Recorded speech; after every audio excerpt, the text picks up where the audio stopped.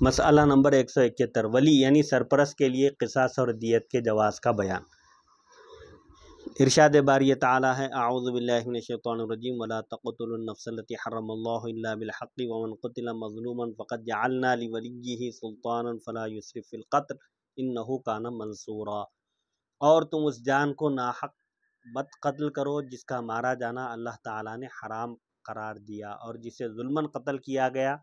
تو ہم نے بے شک اس کے ولی کے لیے سلطان بنا دیا یعنی اس کے ولی کو اختیار دیا ہے، لہٰذا وہ قتل میں بدلہ لینے میں زیادتی نہ کرے، بے شک اس کی مدد کی جائے گی۔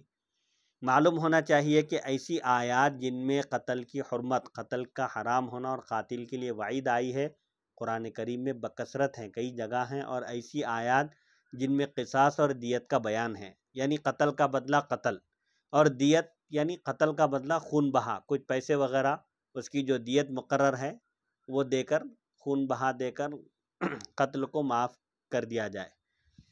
وہ گنتی کی چند آیات ہیں۔ جن آیات میں قصاص اور دیت کا بیان ہے، وہ گنی چنی آیتیں ہیں۔ دیت کا بیان سور نساء کا یہ قول باری تعالی ہے۔ ومن قتل مؤمنا خطا کر رہا ہے۔ قصاص کا پورا ہو یا کسی عضو کا، کسی جسم کے کسی حصے کا۔ اس کو اللہ تعالیٰ نے سورہ معاہدہ میں اپنے قول و کتبنا علیہم فیحا ان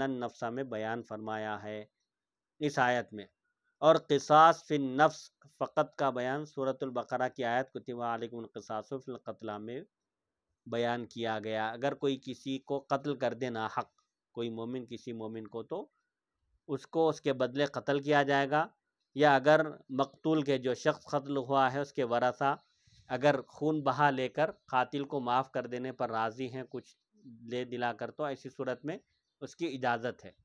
تو قصاص فی نفس جان کے بدلے کا بیان صرف سورہ بقرہ کی عیسائیت کتبہ علیکم القصاص فی القتلہ تم پر قصاص فرض کیا گیا مقتولین کے بارے میں اس میں ہے۔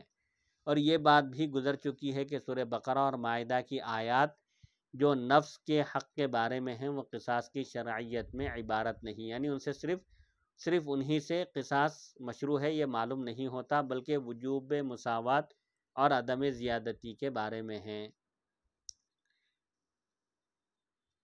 یعنی اگر کوئی شخص کسی کو قتل کرے، اب چاہے وہ کسی بھی آلے سے قتل کرے یا کسی بھی نوعیت سے، کسی بھی طریقے سے قتل کرے، احناف کے پاس لا قودا اللہ بالسیف۔ اگر کوئی کسی کے سر کو کچل کر مار ڈالے یا تلوار یا دھاری دار آلے سے کسی کو قتل کر دے یا اس کو تڑپا تڑپا کر مارے، احناف کے پاس قصاص بالمثل نہیں ہے۔ مقتول کو بھی ویسے ہی مارا نہیں جائے گا، بلکہ تلوار سے ایک ہی وار میں اس کی گردن اڑا دی جائے گی۔ یہ چیز ہے، عدم زیادتی۔ ہاں جتنا ظلم ہوا ہے، اتنا ہی بدلہ لیا جائے گا، اس سے زیادہ نہیں ہوگا۔ اور یہ آیت یعنی بنی اسرائیل کی یہ آیت اس لیے نازل ہوئی تاکہ اس کے ذریعے حرمت قتل قتل کا حرام ہونا، وجوب قصاص وغیرہ فوائد بیان کیے جائیں۔ اگر کوئی کسی کو ناحق قتل کر دے تو قاتل کو مقتول کے بدلے یا تو قتل کیا جائے گا، یہ قصاص ہے۔ یا اگر معاف کر دیا جائے، خون بہا لے کر تو اس کو کہتے ہیں عربی زبان میں دیت۔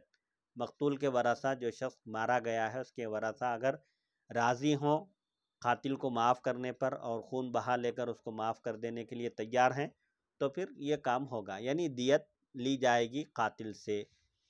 اللہ تعالیٰ نے شاید میں پہلے تو ناحق قتل کرنے سے منع فرمانے کے لیے ارشاد فرمایا، ولا تقتل النفس التی حرم اللہ اللہ بالحق۔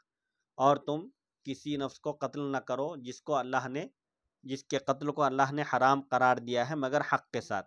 یعنی ایک تین صورتیں ہیں جس میں انسان کو قتل کرنا جائز ہے۔ ایک یہ ہے کہ اگر وہ دین سے پھر جائے نوز باللہ ظالم مرتد ہو جائے تو اس کو قتل کر دینا ہے۔ من بدل دین فقتلوہ حضرت ابن عباس رضی اللہ عنہما کا ارشاد ہے کہ جو اپنا دین دین بدل دے، اس کو قتل کر دو۔ اسی طرح اگر کوئی شادی شدہ ہے اور زنا کرے تو اس کو رجم کرنا ہے، سنسار کر کے ختم کر دینا ہے۔ تو اب یہاں پر حق سے مراد اللہ بالحق حق سے مراد خون بہانے کے جواز کی وجوہات ہیں جو تین باتوں میں سے کسی ایک سے ہو سکتی ہے۔ وہ تین کیا ہیں؟ نمبر ایک مرتد ہو جانا۔ نمبر دو قتل عمد۔ نمبر تین محسن کا زنا کرنا۔ یہ تین چیزیں ایسی ہیں جس میں اس کا قتل مباح جائز ہو جاتا ہے حاکم وقت کے لیے۔ تین چیزوں میں دوبارہ فرمائیے۔ تین چیزیں ہیں۔ اگر کوئی شخص نوز باللہ ذالک مرتد ہو جائے دین سے پھر جائے۔ جی واجب القتل ہے اسی طرح اگر کوئی کسی کو عمدن قتل کرے جی۔ جانتے بوجھتے ارادتاً جی۔ تو اس کے بھی اقسام ہیں۔ قتل عمد قتل شبہ عمد قتل خطا قتل شبہ خطا۔ قتل عمد کا مطلب یہ ہے کہ ایسے دھاری دار آلے سے کسی کو قتل کرے جو عام طور پر قتل کرنے کے لیے ہی بنایا گیا ہے۔ جیسے تلوار ہے چاقو ہے اور بندوق گن وغیرہ ہے موجودہ زمانے کے نئے اوزار آلات ہیں۔ تو ان تین صورتوں میں قتل کرنا جائز ہے لیکن ان تین صورتوں میں سے اگر کوئی صورت بھی نہ پائی جائے تو پھر ایسی صورت میں قتل کرنا ایک مومن کا حرام ہے۔ اس کے بعد اللہ تعالیٰ نے قتل کی جزا۔ تیسری صورت؟ تیسری صورت محسن کا زنا کرنا یعنی شادی شدہ شخص اگر بدکاری کرے زنا کرے تو پھر اس کو بھی سنسار کر کے قتل کر دیا جائے گا۔ اس کے بعد اللہ تعالیٰ نے قتل کی حاکم وقت کے لیے۔ یہ جہاں اسلامی حکومت ہے حدود نافذ ہوتے ہیں پھر اس کے بھی اپنے مستقل احکام ہیں۔ کہ وہاں زنا ثابت ہو، چار گواہ موجود ہوں، یا تو خود گناہ کرنے والا اقرار کرے، یا وہ اقرار نہ کرے، کوئی دوسرے اس کے خلاف گواہی دے، تو پھر چار مرد گواہی دینا ہے اس میں۔ یہ سب چیزوں کے بعد وہ ثابت ہو تو اس وقت حد نافذ ہوگی۔ اس کے بعد اللہ تعالیٰ نے قتل کی جزا، اس کا بدلہ بیان فرمایا، ارشاد ہوا، ومن قتل مظلومن فقط جعلنا لولیہ سلطانا فلا یسرف فی القتل۔ یعنی جس کو اس حال میں قتل کر دیا گیا کہ وہ مظلوم تھا ظلمن مارا گیا، تو ہم نے اس کے ولی کے لیے، اس کے سرپرست کے لیے قاتل کے خلاف اس کو اختیار دیا ہے، کنٹرول سلطان بنا دی ہے، یہ کہ قتل کا مقتضی یعنی قصاص اور دیت یا صرف قصاص لے سکتا ہے۔ مقتول کے ورثہ کو، اس کے سرپرست کو یہ اختیار ہے کہ وہ قاتل سے بدلہ لے یا پھر اس سے خون بہا لے کر اس کو معاف کر دے۔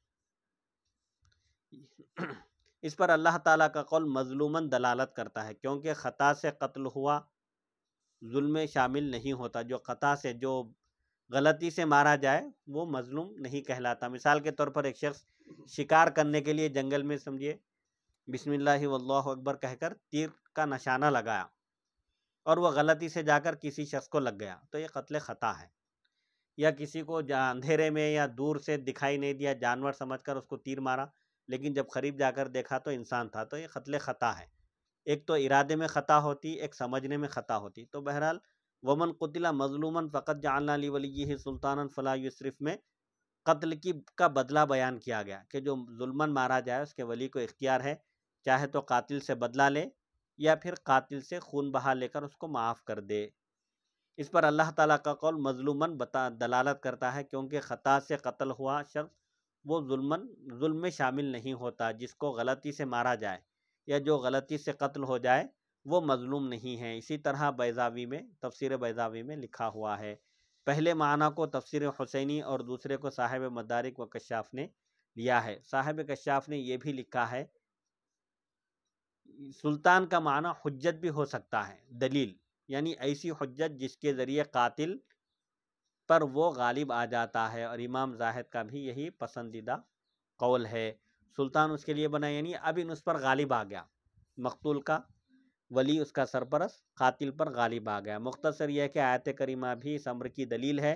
اس بات کی دلیل ہے کہ قصاص لینے کا ولی حقدار ہے۔ قصاص لینے کا اختیار ولی کو ہے اور یہ حق عصبات کی ترتیب کے مطابق ہوگا۔ جو مقتول کے جو ورثہ ہیں ان کی ترتیب جو ہوگی اس کے حساب سے ہوگا اور جس کا کوئی ولی نہ ہو تو اس کا سلطان ولی ہوگا۔ اگر کوئی شخص ایسا ہے جس کے کوئی رشتہ دار ہی نہ ہو، نہ ننیالی، نہ ددیالی، بلکہ بالکل اکیلا شخص ہے، تو پھر ایسے شخص کا ولی سلطان یعنی حاکم وقت ہوگا اسلامی حکومت میں، جیسا کہ حضرات فقہ کرام نے ذکر کیا ہے۔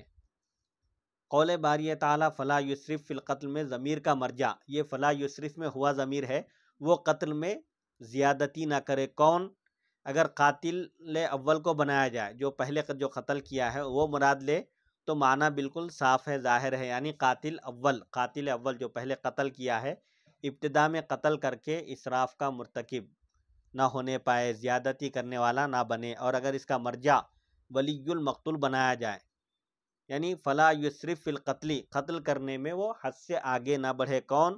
مقتول کا سرپرست۔ تو پھر معنی یہ ہوگا، ولی المقتول مقتول کا سرپرست زیادتی کا مرتکب نہ ہو، وہ اس طرح کے قاتل کے علاوہ کسی اور کے قتل کے درپے نہ ہو۔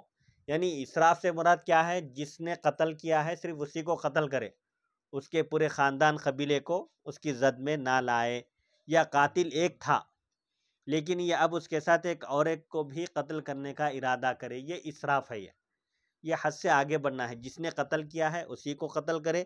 اگر ایک قاتل تھا، ایک سے زیادہ لوگوں کو اگر مار ڈالے تو یہ پھر اسراف ہے، حد سے آگے بڑھنا ہے۔ جیسا کہ دور جاہلیت میں عرب کی عادت تھی کہ ایک مقتول کے بدلے دو آدمیوں کو قتل کرتے تھے۔ ایک کا بدلہ دو سے لیتے تھے یا مسلح کر کے یعنی جسمانی اعضاء کاٹ کر زیادتی کا ارتکاب نہ کرے۔ ہا قضا قالو، فلا یصرف فی القتل کا مطلب یہ ہے کہ اگر کوئی شخص کسی کو صرف قتل کر دیا ہے تو یہ بھی اس کو قتل کر دے۔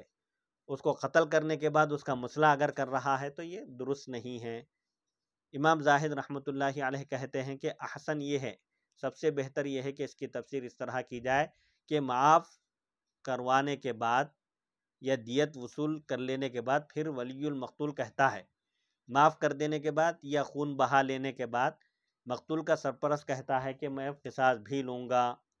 اس کا اب قصاص لینا یہ اسراف فی القتل ہوگا۔ قتل میں حد سے آگے بڑھنا، حد سے تجاوز کرنا ہوگا۔ یہ تمام گفتگو اس صورت میں ہوگی جب فلاں یسرف کو غائب کا سیغہ بنایا جائے۔ عربی زبان کے حساب سے یہ غائب کا سیغہ اگر بنایا جائے تو یہ گفتگو ہوگی۔ اور اگر مخاطب کا سیغہ پڑھا جائے، جیسا کہ جناب علی اور حمزہ کی قرات میں ہے، تو پھر ان دونوں میں کسی ایک کو خطاب ہوگا۔ فلا تصرف فی القتل، اگر پڑھنے کی صورت میں فیلے نہیں، لہٰذا تم قتل میں حد سے آگے نہ بڑھو۔ کون مخاطب ہے اس کے؟ دونوں میں سے کوئی ایک مخاطب ہوگا، یا تو قاتل یا مقتول کا سرپرست۔ اور قول باری تعالیٰ، انہو کانا منصورہ انہی کی علت ہے۔ یعنی اس کا سبب ہے۔ اور اس میں موجود ضمیر کا مرجع یا تو مقتول ہے، انہو کانا۔ وہ منصور ہے، اس کی مدد کی جائے گی۔ کس کی مدد کی جائے گی؟ مقتول کی۔ کیونکہ وہ دنیا میں قاتل کے بطور قصاص قتل کیے جانے کی وجہ سے منصور ہو گیا۔ قاتل اس کو قتل کرنے کی وجہ سے وہ اللہ کی حفاظت میں اللہ کے نصرت میں آ گیا اور آخرت میں ثواب کے ساتھ منصور ہوگا۔ دنیا میں اس کی مدد کیسے ہوگی؟ اگر اس کے سرپرست معاف کر دیا اور پیسے لے لیے خون بہا تو یہ اس کی ظاہری مدد ہو جائے گی دنیا میں اور آخرت میں اس کا ثواب محفوظ ہے مقتول کا جو ظلمن مارا گیا۔ اچھا۔ یا اس کا تو مرجع؟ یعنی- یعنی اگر دیت دے دی گئی تو پھر آخرت میں اس کے قتل کے بارے میں پوچھا نہیں جائے اب معاف کر دیے نا ورثہ۔ اچھا۔ ورثہ معاف کر دیے تو ختم ہو گیا۔ جن کا حق تھا وہ لوگ معاف کر دیے۔ اب انہو کانا منصورہ میں یا تو مقتول مراد ہے یا اس کا مرجع ولی ہے۔ مقتول کا سرپرست۔ یقیناً مقتول کے سرپرست کی مدد کی جائے گی کیونکہ اللہ تعالیٰ نے اس کی نصرت فرمائی کہ اس کے لیے قصاص واجب کر دیا۔ یعنی اس کو ایک سہولت یہ دی کہ اس کا جو زیر سرپرست مارا گیا ہے اس کا قصاص اس کو مل گیا۔ ان اب چاہے تو بدلہ لے سکتا ہے یا خون بہا لے سکتا ہے۔ اور اسلامی حکومت کے والیوں کو حاکموں کو اس کی مدد کرنے کے لیے کہا۔ پھر اس کا مرجع وہ شخص ہے جسے ولی ازر و اسراف قتل کرتا ہے۔ حکومت کے والیوں کو؟ یعنی حکومت کے نگران کاروں کو اس کی مدد کرنے کے لیے کہا۔ ہم۔ یہ شخص بھی اس طرح منصور ہے کہ اسراف کرنے والوں سے اس کا قصاص لیا جانا واجب ہوگا۔ جو حد سے آگے بڑھیں گے ان کی تعدیب ضروری ہوگی یعنی ان کو ادب سکھانے کے لیے سرزنش کی جائے گی اور صاحب مدارک کہتے ہیں کہ آیت کریمہ کا ظاہر اس بات پر دلالت کرتا ہے۔ ظاہری ایسے معنی معلوم ہوتے ہیں کہ قصاص آزاد اور غلام مسلمان اور ذمی کے درمیان جاری ہوگا، کیونکہ ذمیوں اور غلاموں کے نفس ذات آیت میں داخل ہیں۔ یعنی یہاں کوئی قید نہیں ہے، چاہے مارا جانے والا آزاد ہو یا غلام، مسلمان ہو یا کافر۔ جس کی وجہ ان کی حرمت ہے۔ یعنی خون سب کی جان حرمت والی ہے۔ یعنی ان کا خون بہانا بھی حرام ہے، چاہے وہ آزاد ہو یا غلام، مسلمان ہو یا غیر مسلم۔ ہادہ کلام ہو یہ گفتگو ان کی ہے۔ مطلب یہ ہے کہ پورا تفاصر وغیرہ کا یہ خلاصہ یہاں پیش کیا گیا انشاءاللہ۔ اگلی نشست میں مسئلہ نمبر ایک سو بہتر مدت بلوغ کا بیان، بالغ ہونے کی مدت کا بیان، اس پر گفتگو ہوگی۔ وصلی اللہ تعالیٰ علیہ خیر خلقہ، سیدنا محمد و علیہ و صحبہ اجمعین الحمد للہ رب العالمین۔